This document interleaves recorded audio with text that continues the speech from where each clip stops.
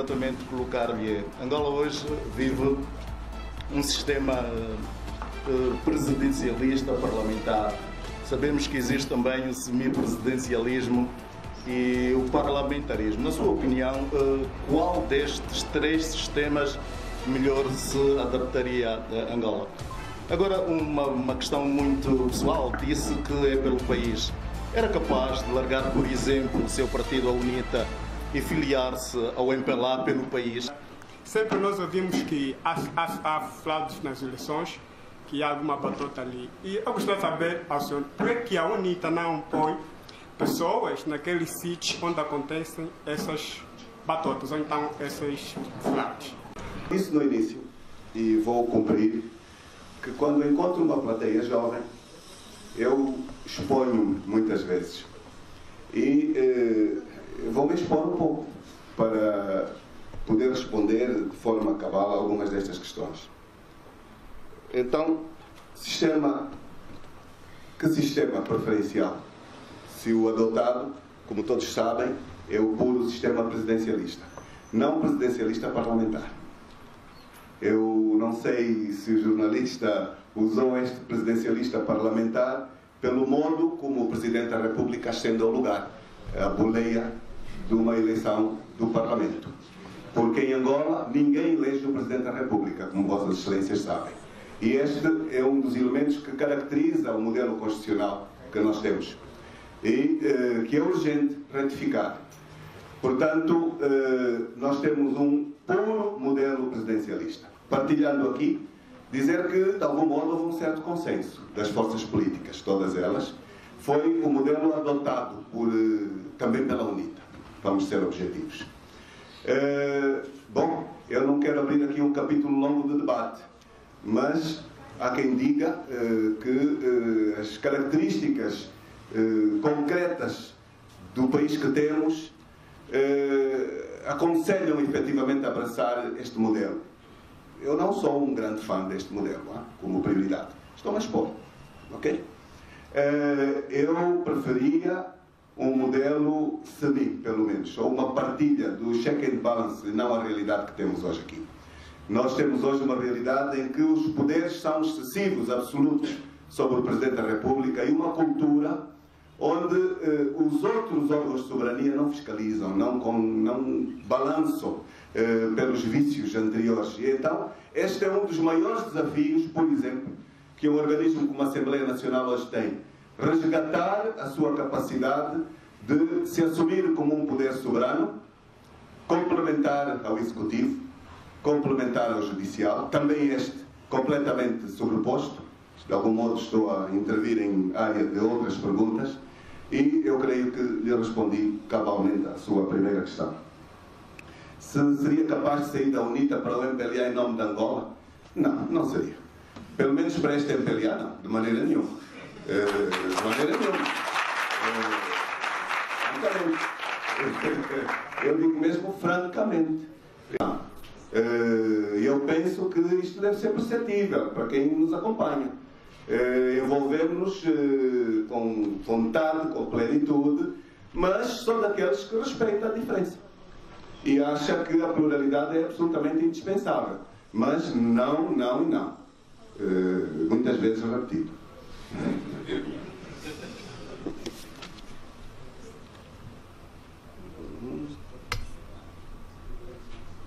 Ora bem. Hum. Escrevi muito rápido. Eu creio que a pergunta a seguir uh, tem a ver com o financiamento das eleições e se a UNITA tem contado exclusivamente com fundos eh, do Orçamento Geral do Estado ou do financiamento do Estado para as suas campanhas. Não. Eh, eu creio que eh, Vossas Excelências conhecem também a lei do financiamento dos partidos e eh, a lei do financiamento dos partidos políticos também é restritiva. E eh, chamo aqui a atenção exatamente para o facto de que não há uma um espaço ilimitado de buscas de dinheiros para o financiamento dos partidos. Qualquer forma, eh, a UNITA tem contado fundamentalmente com, eh, diria, as cotizações dos seus membros. A UNITA tem cerca de 3 milhões de membros eh, portanto, não são poucos. Dizer que o Orçamento Geral do Estado financia os partidos políticos e estas verbas têm sido diferenciadas. Eu vou partilhar convosco algo que vos vai escandalizar, talvez não saibam. Quanto é que foi o financiamento dos partidos nas últimas eleições? Eu agora também quero provocar um bocadinho. Será que alguém aqui sabe? Esta foi uma provocação negativa para aqui. Ninguém sabe qual foi o financiamento dos partidos? Vamos então fazer aqui uma partilha, por isso é que temos este debate. Uh, os partidos políticos, até as últimas eleições, tinham um financiamento onde os partidos assumiam a fiscalização das eleições, por sua responsabilidade. Uh, nestas eleições, uh, não foi assim. Nós tivemos uma aproximação das eleições com a perspectiva de podermos ter a aprovação de uma nova lei eleitoral. Infelizmente, a Assembleia Nacional atrasou-se a agendar as propostas da nova lei eleitoral. E eh, a UNITA trabalhou com os outros partidos da oposição, com a Casa CE, com a FERELA e com o PRS, e nós terminamos uma proposta nova, muito antes, diria assim, do MPLA ter a sua, por aquela velha questão, quem acompanha a política angolana deve saber, o plano de tarefas para a realização das eleições eh, gerais e autárquicas. Diz-vos alguma coisa esta questão? Diz-vos alguma coisa? Estou a ver uma plateia muito amorfa.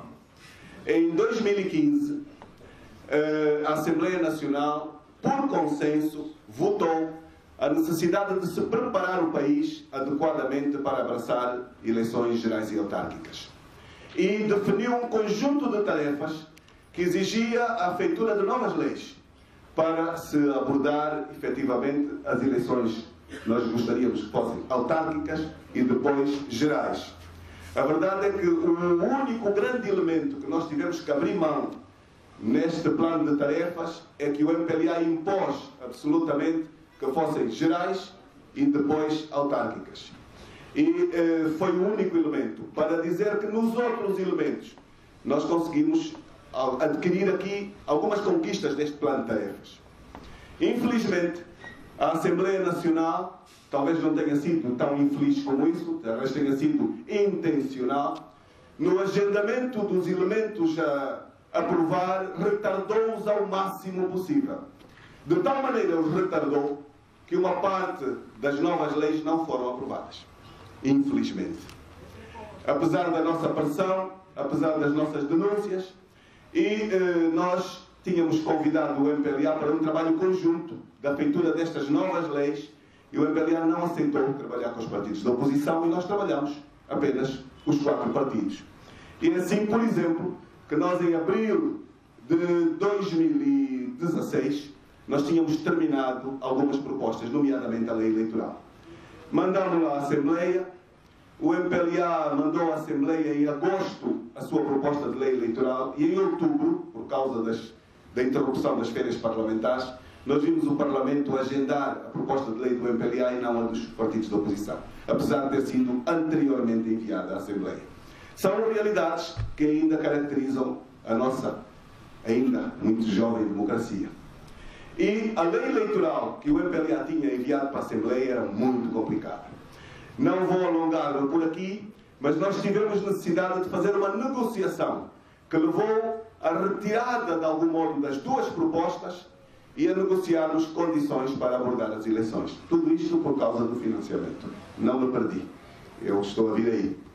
Então houve uma negociação onde o MPLA no início recusou sentar com a Casa CE, com o PRS e com a FEDELA, falou apenas com a UNITA e eh, numa fase complementar então falou com todos os outros partidos e foi aprovada uma resolução na Assembleia Nacional que tinha algumas condições para a realização das eleições. Dou, por exemplo, algumas delas. A obrigatoriedade da fixação dos resultados das eleições em todos os locais onde funcionassem eh, mesas eleitorais. Antes não existia esta obrigatoriedade. Elas eram apenas afixadas nos municípios, depois de contabilizados o total das assembleias de cada localidade. E uh, o facto de passarem a ser fixadas em todas as localidades ou em todos os espaços onde houvesse uh, uma mesa eleitoral, aumentou-nos a condição de poder fazer um melhor controle destas eleições.